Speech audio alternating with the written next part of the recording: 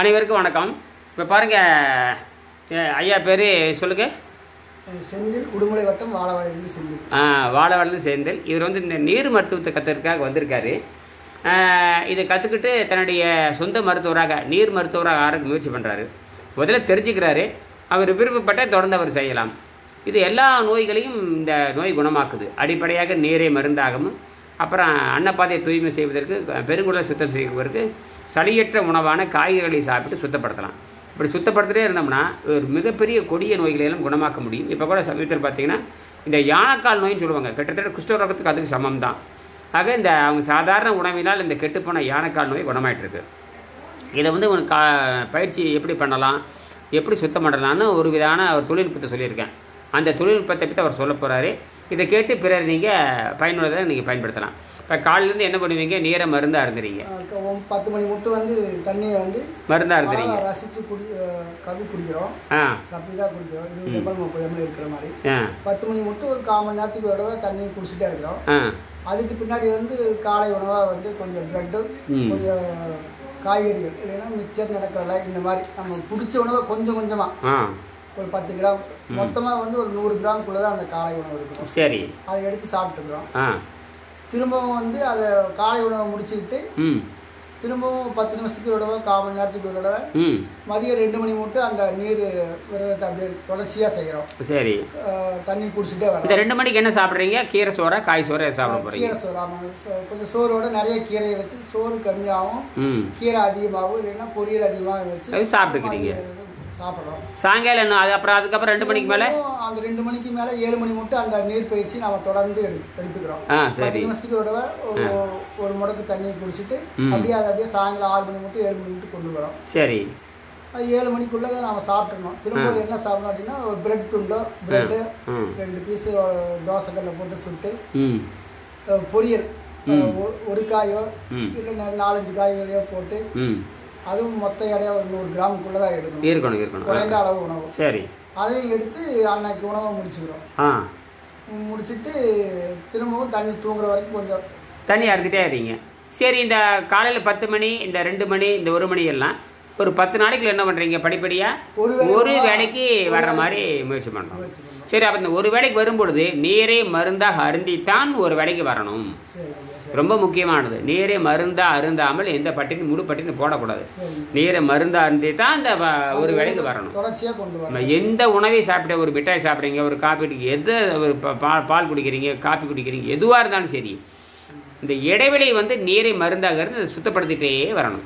சரி. இப்படியே செய்ய செய்ய ஒரு குறிப்பிட்ட கா காலத்தில் உடல் எடை குறைவது நின்றுவிடும். ஒரு நூற்றி ஐம்பது நாள் வச்சுக்கலாம் தோராயமாக ஒருவேளை உணவில் இருக்கிறீங்க. நூற்றி ஐம்பது நாள் சொல்கிறேன் தோராயமாக இதில் வந்து எல்லா நோய்கள் நீங்கி உங்கள் உடல் எடை வந்து நடுநிலை பெற்ற உடலாக மாறும். இதுக்கு பேர் சுத்த தேகம்னு சொல்லுவாங்க. என்ன தேகம்? சுத்த தேகம்னு சொல்லுவாங்க. இன்னும் கொஞ்சம் சொல்லணும்னா உள் சுத்த தேகம்னு அர்த்தம். இந்த தேகம் வந்துட்டு உங்கள் உடல் எடை இறைக்க உடல் எடை குறையறதுக்கு வாய்ப்பே இல்லை. ஒரு நாள் என்ன பண்ணுறீங்க தண்ணியில் போட்டு பார்க்குறீங்க. வெறும் தண்ணி மட்டும் மருந்தி பார்க்குறீங்க. உடல் எடை குறையல. அப்போ அதுக்கு என்ன என்ன பொருள்? அப்போ நான் வந்து ஆரோக்கியமாக இருக்கும் வந்து உடல் எடை குறையல. இயற்கையோடு சேர்ந்துட்டீங்க. அதாவது மனித வடிவில் இருக்கிற தாவரம். மனித வடிவில் இருக்கிற தாவரம். தாவரம் என்ன பண்ணும்? சூரியன்லேருந்து ஒளிச்சேர்க்கை பண்ணி மாவு சத்து தயாரிச்சுக்குது. காற்றுல இருக்க நைட்ரஜனை உறிஞ்சி புரோட்டீனாக மாற்றிக்குது இதுதான் அது மாதிரி தான் மனிதன் மாறுறான்.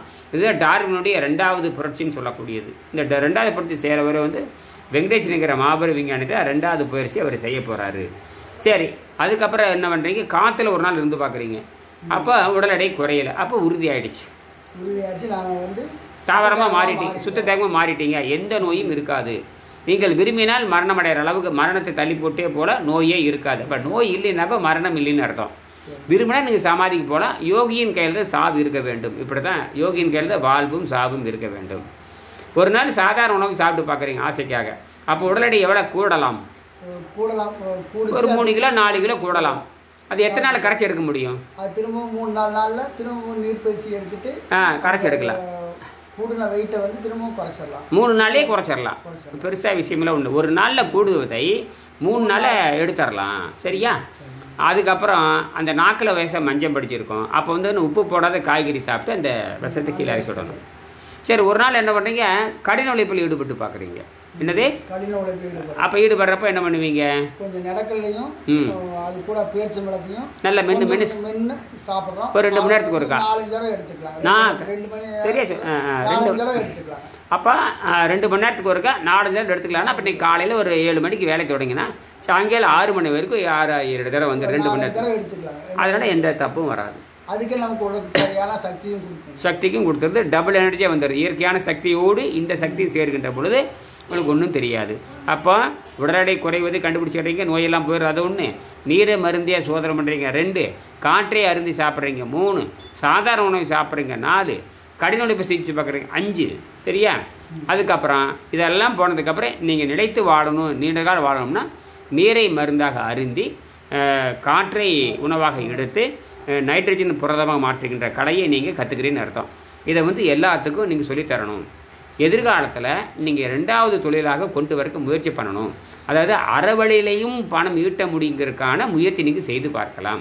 சரியா? சரி. அப்போ உங்கள் முதல்ல நீங்கள் உங்களுக்கு நீங்கள் மருத்துவராக மாறிக்கிறீங்க. பிறருக்கு மருத்துவம் சொல்கிறதுக்கு உங்களை நாடி யாராவது வர்றாங்க.